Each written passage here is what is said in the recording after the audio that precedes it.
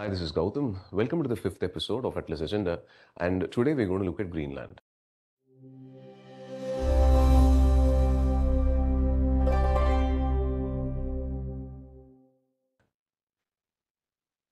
So, the issue with reference to Greenland is the diplomatic tussle with United States of America. Like last week, uh, just before, just after we recorded the video, uh, there was the arrest of Nicolas Maduro, and the United States is quite ambitious in expansion. That is a news article. So a simple overview on where it is located. So Greenland is politically part of Denmark, and Denmark is a European country. And United States of America has expressed interest in acquiring Greenland uh, both through financial measures and legal measures, uh, wanting it to be the 51st state of the United States. The major reason, which is uh, told by the United States of America, is that uh, for securing uh, security security interests, because to the eastern part of Greenland there is a greater activity of both uh, Russian and Chinese vessels. So that is the news article. And uh, now let's focus on the island in terms of map perspective, how it is going to be helpful for our prelims examination. So, you know, anytime uh, you want to study countries, we directly go to the world political map. But Greenland is more like a kaleidoscope, right? So I'm pretty sure all of you use these in school. So once you start to look at it in different perspectives, the position begins to change and you get incredible colors. Greenland is one such place. Look at this map if you look at the size of Greenland, two third of which is in Arctic Circle, and look at the size of Africa, you will come to a conclusion that uh, Africa is, yes, it's bigger than Greenland, but one way or the other, they are maybe, uh, it's maybe two, double the size of Greenland, not more than that. But in reality, Africa is much larger. The reason of this distortion is because of Mercator projection. And in Mercator projection, the areas which are closer to the equator will become smaller and areas which are closer to the polar region get exaggerated. So Greenland is 1 14th of the size of African continent. That actually tells you that this is much larger and this is extremely small. Now let's look at this kaleidoscopic island through a different perspective, the first map which I showed you. So Greenland is geographically part of the North American continent, positioned to the northeastern part of Canada. But if you look at it politically, politically it is part of Denmark. Denmark is right here. Greenland came under Denmark's control in 1721, and uh, even though Greenland has, uh, you know, acquired greater autonomy, when it comes to important subjects like external affairs, defense, and uh, foreign relations, it is predominantly controlled by Denmark. So that's one thing you have to keep it in mind. Now, if it is a continental area and if it is a political a boundary, I would have started talking about the neighboring countries. But this time, we are not concerned about neighboring countries. We are going to focus on what islands are close to Greenland. At the same time, what are the water bodies which are around Greenland? This will help us for our prelims examination, and that is going to be our predominant focus in this episode. Now, that is the position of Greenland with reference to North America. And the first island which we need to note down is Iceland. Iceland is a European country, but again, it is located far away from mainland Europe towards the northwestern side. And with reference to North America, it is on the northeastern side. As you can see from the map, Greenland and Iceland are separated by a narrow water body. A narrow water body which separates two large water bodies is called as a strait. And the name of this strait is Denmark Strait. So where does the what does the Denmark Strait connects? Well, to the northern part of Denmark Strait, you have the Greenland Sea, and to the southern part of Denmark Strait, you have the Labrador Sea, okay, and the larger part of the Atlantic Ocean. So keep that in mind. Even though the name is Denmark Strait, it's present closer to Greenland, not in Europe. So that's important for your prelims exam. Coming to the second strait, we have the Davis Strait here. The Davis Strait is again a narrow water body which is connecting two water bodies. So one is the Baffin Bay. And after the Baffin Bay, in the south, again you have the Labrador Sea and the larger part of the Atlantic Ocean. And lastly, the third strait which we are concerned about, pardon me, the third strait which we are concerned about is here. That is your Nares Strait. And your Nares Strait connects the larger part of your Atlantic Ocean through your Lincoln Sea. And Lincoln Sea is connected to your Baffin Bay. So that is your water passage. So keep that in mind. We look at it in a zoomed out version.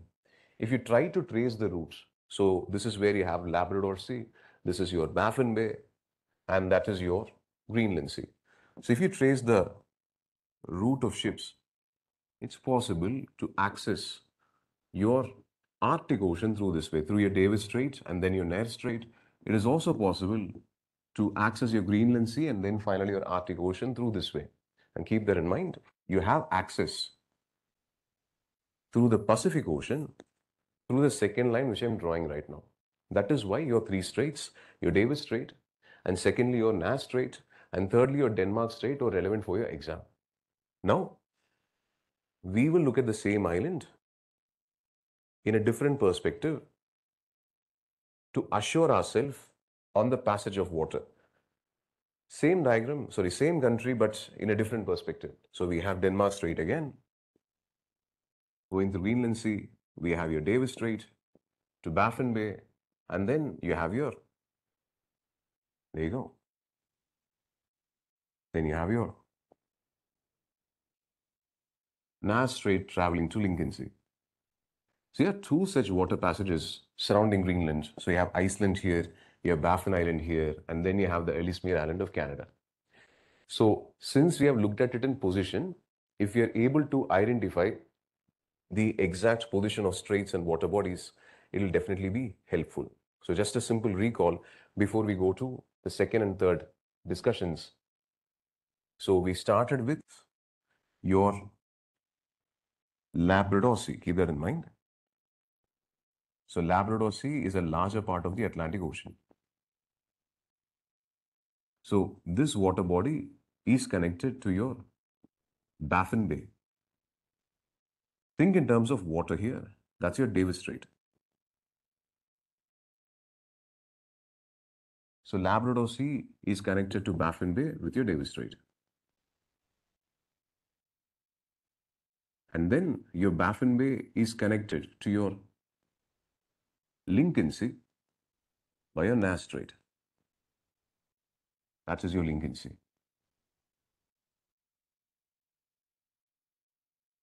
And on the other side, you have the larger part of Atlantic Ocean. So there you go. And uh, this is connected. You know, Labrador Sea is part of the Atlantic Ocean.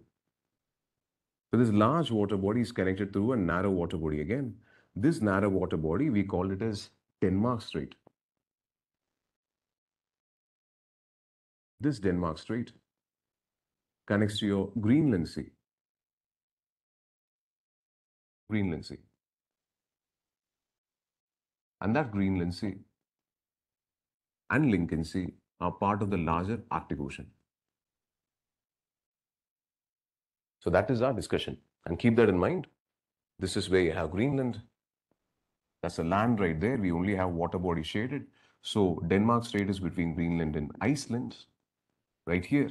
Keep that in mind. We have Baffin Bay. So we have an island of the same name, Baffin Islands which belongs to Canada. And uh, on the northern part of uh, Canada, we also have the second island called as Ellesmere.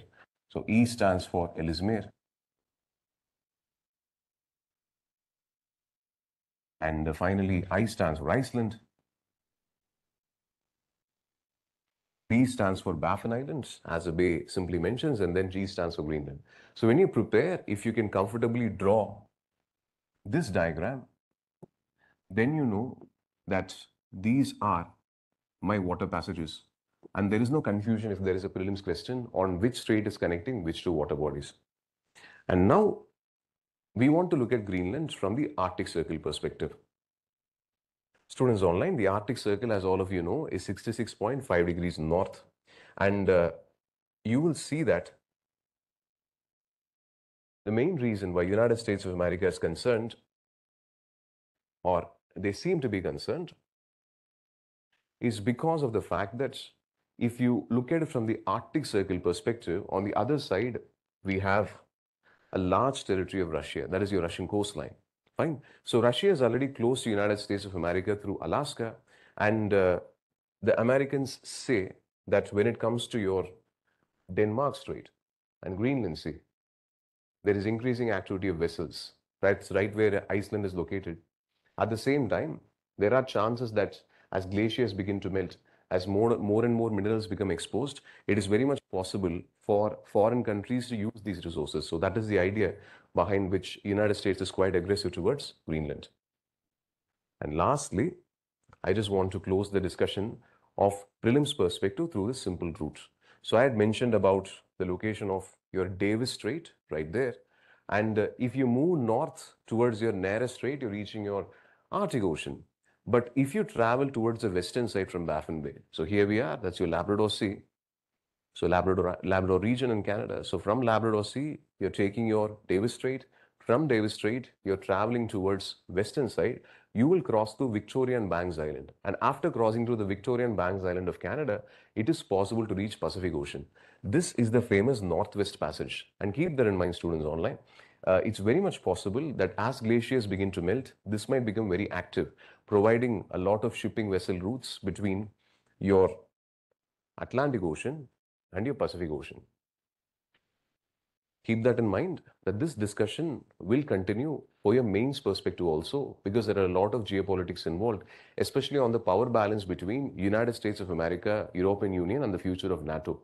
So in, in, in Atlas agenda, we mostly restrict ourselves to prelims discussion, but still I wanted to make a simple call on the importance of mains also. And uh, before we close and I show you the final question, just want to introduce something. In the previous video, we had asked a question regarding countries which border both Pacific and Atlantic Ocean. Students did not have a problem with Colombia. So Colombia has access to both Pacific Ocean and Atlantic Ocean through the Caribbean Sea. So north of Colombia is Caribbean Sea and through Caribbean Sea, yeah, right here, it's through Caribbean Sea, it is possible to. Caribbean Sea is part of the North Atlantic Ocean.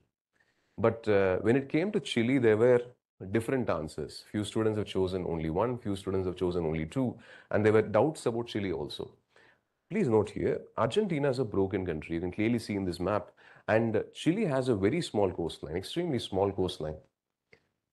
That is because of the Strait of Magellan right there. So you see that Chile extends so it's a small coast, it's teeny tiny bit, but still extends and has access to the Atlantic. And only the tail uh, belongs to Argentina. That's Tierra del Fuego region. Fine. So I think that resolves the dispute uh, regarding uh, doubts on Chile bordering Atlantic Ocean. So I close the discussion uh, with this question. And uh, you might be thinking every single time uh, I always mention what you focus on determines what you miss. So the question is very simple. Who are the members of the Arctic Council? The numbers stated are European Union, United Kingdom, and Ireland. And let me tell you something. Many might feel it's not a map question, but it is actually a map question. So in your in the comment section, when you leave the answer, do explain if you know why this is actually a map question and it's not an international organization's question. What is the criteria to become a member of the Arctic Council? You can leave that in the comments. So again, the next video will be uploaded as usual on Wednesday 6:30 p.m. And uh, before I close, if you're looking looking at this video, it's most likely Wednesday evening or Thursday or Friday. So Pongal Nalvarthukal. With that, I close. Thank you.